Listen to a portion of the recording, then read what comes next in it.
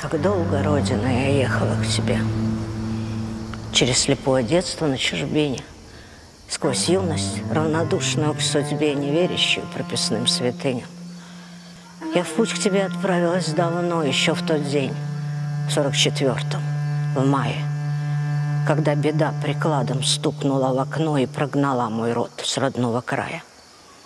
Пускай я родилась десятки лет спустя в моей крови, Стучит воспоминания и душит горло боль, рассудок мой мутя, я там, я среди них, начавших путь в изгнание.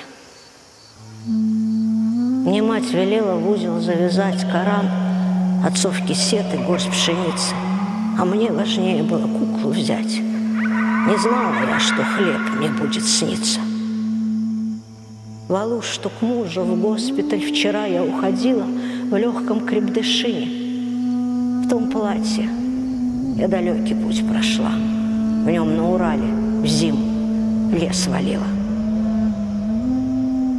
В тот день пошла в соседний городок узнать о брате, храбром партизане, а сына, что ему четвертый лишь годок везут в Сибирь. Меня к Узбекистану. Потом теряла я на станциях детей – и умирала на руках соседей, длину пути считая сотнями смертей в огне тифозном, родину бредя.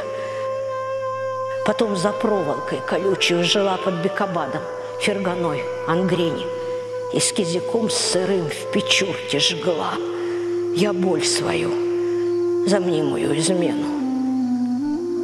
Потом в чужой земле я хранила мать, куском платка прикрыв ей тело малость.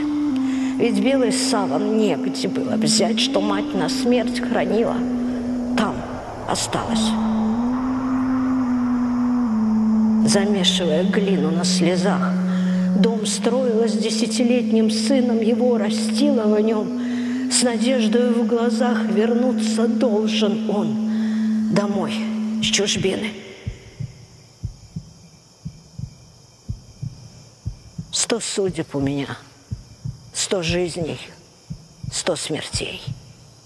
Я их несу давно в открытом сердце. Я шла к тебе ста тысячью путей, Родина. Теперь мы вместе.